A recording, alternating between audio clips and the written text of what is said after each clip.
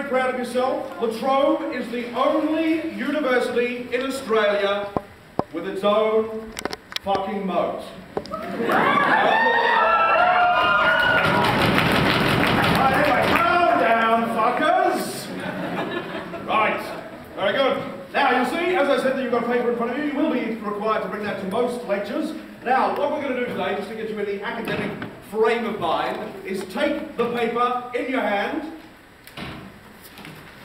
How the fuck did you people get into university? Alright, take it in your hand, scrunch it up in a ball, and throw it at the nearest dickhead.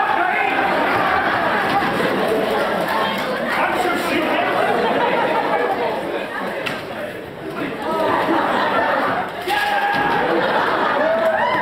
Jesus Christ.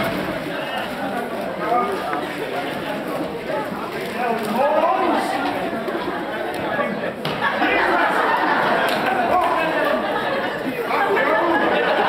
You too! All right, all right. Hello! Jesus Christ.